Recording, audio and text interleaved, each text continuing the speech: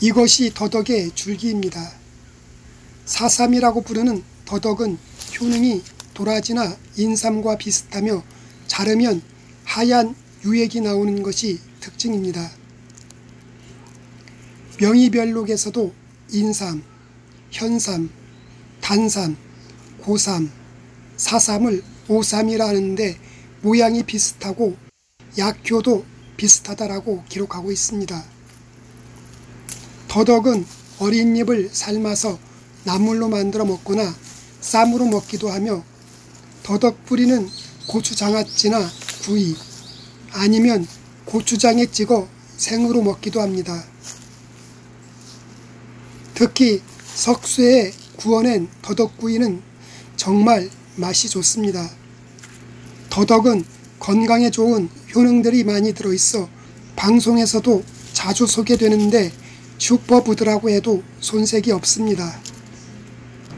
더덕은 이눌린, 단백질, 당질, 섬유질, 칼슘, 인, 철, 비타민, 니코틴산, 사포닌 등 많은 영양 성분이 들어있어 우리 몸에 부족한 영양소를 채워줄 수 있는 종합 비타민이라고 부릅니다.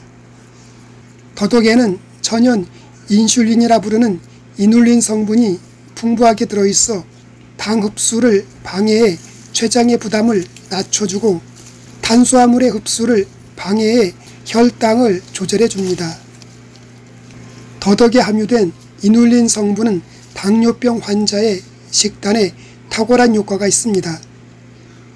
한 연구에 따르면 당뇨병 환자가 매일 이눌린을 복용했을 때 소변에서 설탕이 발견되지 않았다고 발표했습니다.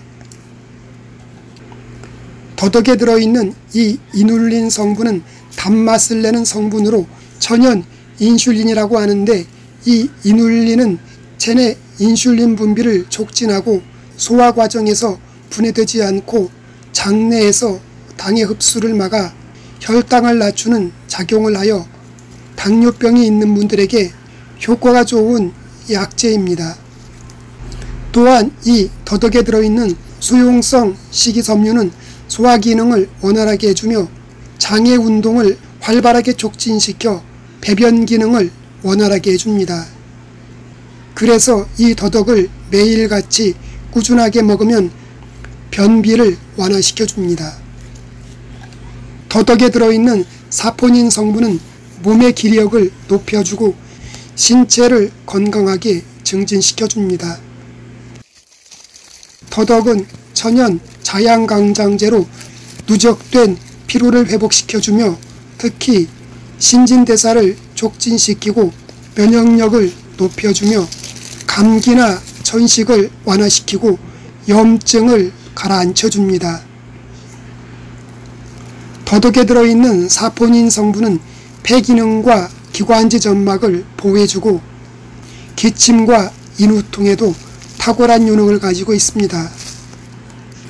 더덕은 성질이 차가운 편이라 몸이 차가운 분들이 과다하게 섭취하면 소화불량, 배탈, 설사 등이 발생할 수 있으니 몸이 차가운 분들은 생더덕을 하루에 3뿌리 정도 이하로 섭취하는 것이 좋습니다. 더덕은 10월 중순에서 11월 중순에 채취하는 것이 약효가 제일 좋으며 동의보감에 더덕은 성질은 차갑고 맛은 달지만 쓰고 자양강장제나 해독, 기침이나 가래에 효과가 있다라고 기록되어 있습니다. 말린 더덕 20g에서 30g을 물 1리터에 넣고 15분 동안 중불에 놓고 끓이다가 물이 끓으면 다시 약불로 20분에서 30분 정도 더 끓여주시면 됩니다. 더덕 달인물은 쓴맛이 있어 쓴맛이 싫으신 분들은 꿀 한 스푼 정도 넣어 마시면 맛있게 마실 수 있습니다. 오늘은 혈당 조절이 안 되는 분들에게 좋은 더덕에 대해 알아보았습니다.